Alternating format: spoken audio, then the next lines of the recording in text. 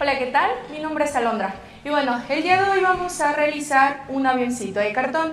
Los materiales que vamos a necesitar es una pluma, tijeras y cartón. Puede ser ya sea de una caja de cereal o de galletas.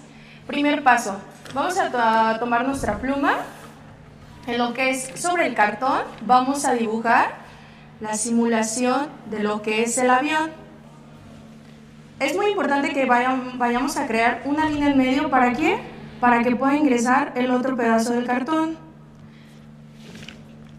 Vamos a hacer lo mismo en la parte de arriba, utilizando el mismo cartón. Y posteriormente vamos a recortarlo. Nos vamos a guiar por el contorno que dibujamos.